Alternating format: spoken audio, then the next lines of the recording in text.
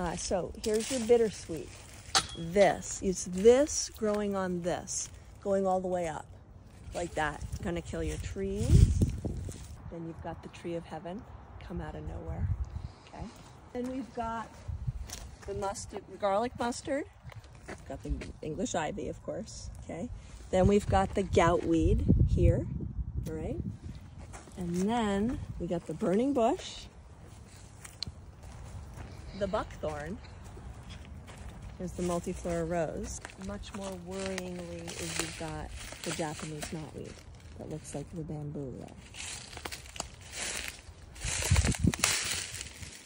You've got a lot of Japanese knotweed here behind you.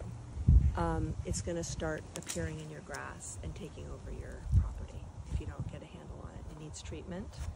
Um, it needs treatment either by yourself, which is a big undertaking, or by a professional that they are licensed to treat with uh, herbicides. And then they will follow the treatment protocol. Yeah.